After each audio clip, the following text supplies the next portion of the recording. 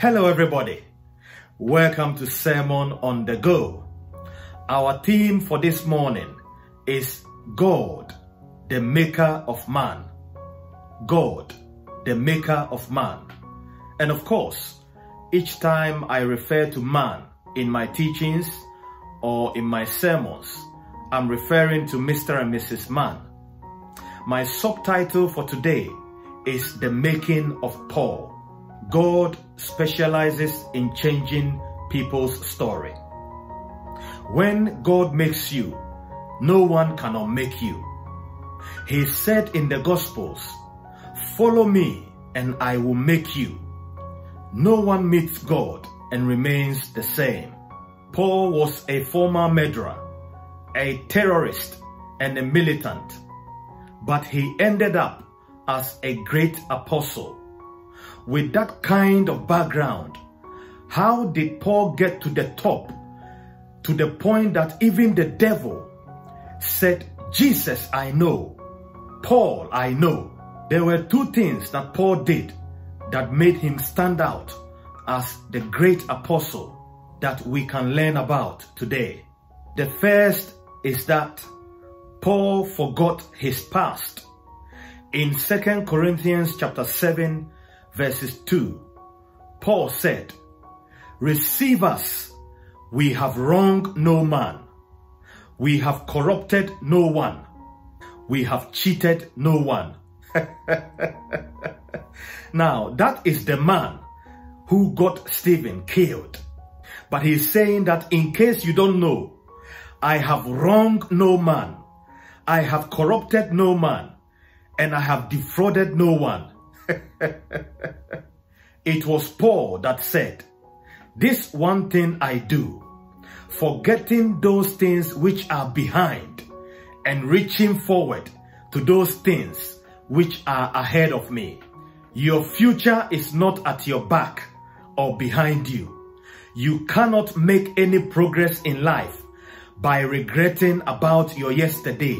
One of the greatest secrets of becoming successful in life is forgetting about the failures of yesterday and pressing on and fighting with faith for the future. You can never move forward in life, make progress in life by moving backwards. Paul forgot about his past. For if anyone is in Christ, he is a new creation old things have passed away. Behold, all things have become new. God has promised you and I that our sins and our iniquities he shall remember no more. So why do you keep remembering what God has forgotten? If God says I am forgiven, then I am forgiven. If God says I should put my past behind me, then that's what I will do. I will put my past behind me and reach forward for the things which are before me because I better believe what God says about me than what my own senses tells me. No matter what anybody tells you that goes against what the Bible says, if anybody tells you anything that is contrary to the Bible, don't believe it because you too have access to the Bible. Please read the Bible for yourself. Search the scriptures for in them there is life. For in them there is hope. For in them there is eternal salvation. If God says you are forgiven, then you are forgiven. For whoever God sets free, they shall be free indeed. Put the past behind you and press on in life. That was what Paul did that made him go forward. The second thing Paul did that we can learn from is that he was a student of the Bible. He was a student of the Word of God. In 2 Timothy chapter 4 verses 13, Paul said, Bring the cloak that I left with Carpus at Troas when you come, bring them. And the books, especially the parchment.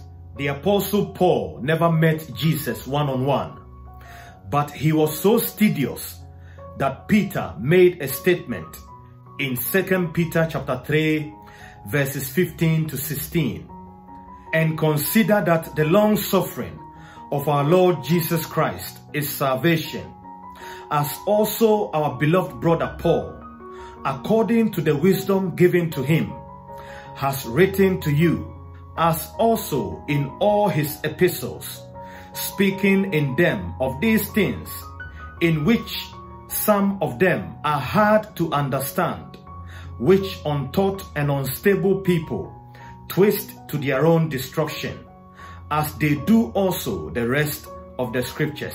Paul operated in the class that if you are not careful, you will not be able to understand his writings because he forgot about his past and understood that everything in this world is controlled by the word of God and that includes our lives. God uphold all things by the word of his power. In the beginning was the word. The word was with God and the word was God. The same was in the beginning with God. All things were made by him and without him was nothing made that was made.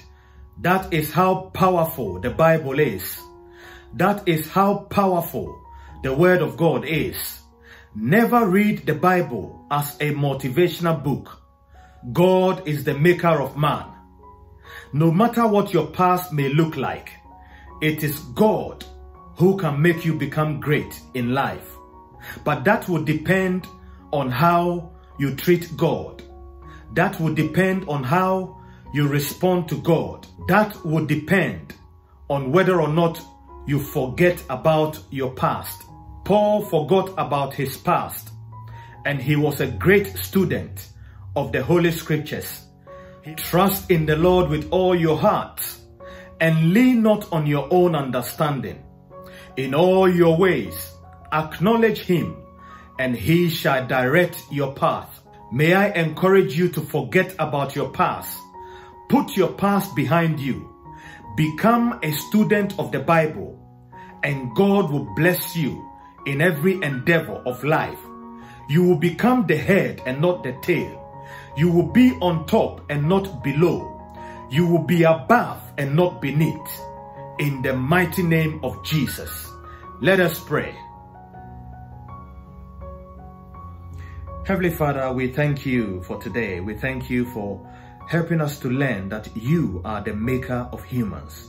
You are the maker of man. We pray that you help us to forget our past and hold on to you and become good students of your kingdom, become good students of the Bible. As we live our lives, Father Lord, we pray that you help us to become good Christians in our community and good Christians in our family. Help us to witness to your goodness in our lives.